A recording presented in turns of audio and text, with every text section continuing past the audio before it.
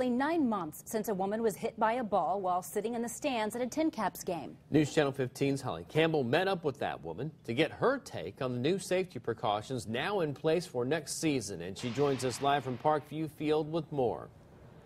When Jennifer Myers went to a TinCaps game here at Parkview Field last summer, she had no idea it would change her life in just a split second.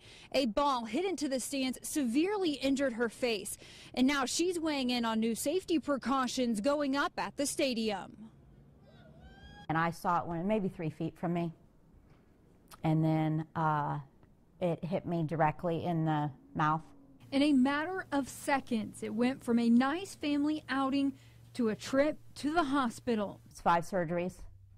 I had to have titanium plates put in my face and quite a few screws and gum grafting and it's it's been a long road. With more than $50,000 in debt following the numerous surgeries, Jennifer Myers isn't done yet. She says doctors tell her it could be another four months before she's done with treatments. It's been a long, painful road for the Myers. And with new safety nets being put up this week at Parkview Field, she hopes it won't happen to someone else. I'm glad that they put it up because if God forbid it had been my son that was sitting next to me or the little kid that was sitting in front of me, I mean, they could have had brain damage or spinal damage. Myers was sitting in an area that will now be protected by the extended safety nets that will reach to the end of each dugout.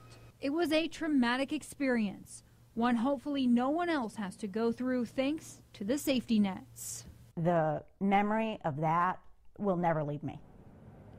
Myers says while the safety nets are a step in the right direction, she would like to see more done. She says she'd like to see better training for people who respond to injuries like hers when they receive them at games. We did speak to TinCaps President Mike Nutter, who says he stands by how the situation was handled and by those first responders. Live at Parkview Field, Holly Campbell, News Channel 15.